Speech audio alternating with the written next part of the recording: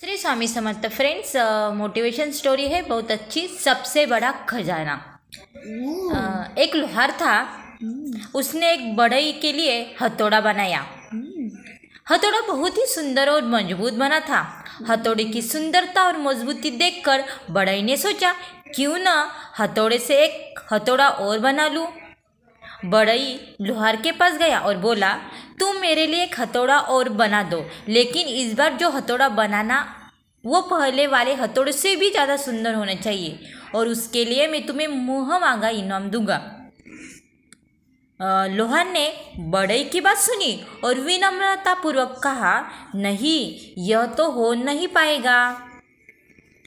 पूर्व, पूर्वक कहा, नहीं, यह तो नहीं हो पाएगा। बड़ई लोहार की बात सुनकर आश्चर्यचकित हुआ और बोला, आखिर क्यों नहीं हो पाएगा? तुम्हें तो बहुत मुँह मांगा इनाम मिलेगा, फिर तुम इसके लिए मना क्यों कर रहे हो?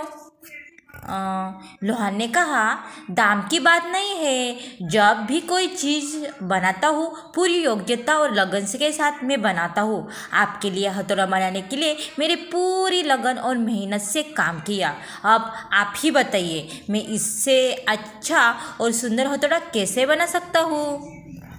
अगर मैं आपकी बात मन में ले, लेता हूँ और कहता हूँ कि हाँ मैं कम कर सकता हूँ तो इसका मतलब यह होगा कि पहले वाले हथौड़ों को बनाने के लिए मैंने कोई कसार बाकी नहीं रखी थी, इसलिए इस हथौड़ों को मैं ज़्यादा सुंदर बना सकता हूँ, लेकिन यह तो सत्य नहीं है। मैंने आपके लिए पूरी ईमानदारी और लगन से हथौड़े का निर्माण किया।